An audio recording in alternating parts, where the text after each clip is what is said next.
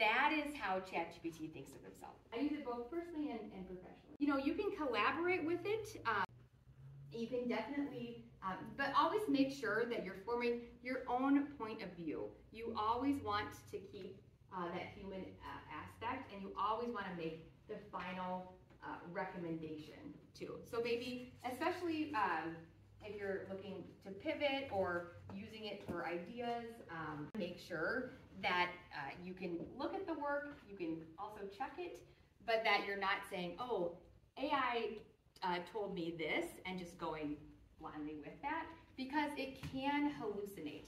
So what that means is it's very sure of itself. You know, think about, you know, the, uh, the like the cockiest person that you know, and they're just like, yeah, I'm the best. I can never do anything wrong. That is how ChatGPT thinks of itself. They're very, you know, and so it does not like to be wrong. Now they're working on it. Right now, it's about less than 1% in the answers, but it's still not perfect.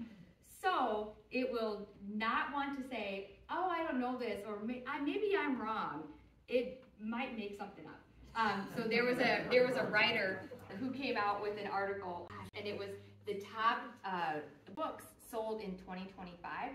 But this writer used ChatGPT to put the list together, and three of those books were totally made up.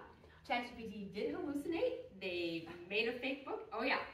So that poor writer now. Oh my gosh, I got so many emails about that one. No, he didn't. And he said, sure enough, like, yeah, I used ChatGPT to make this list. I didn't check it. He's gonna have to find a new career. You can look that up as a bad example of what not to do.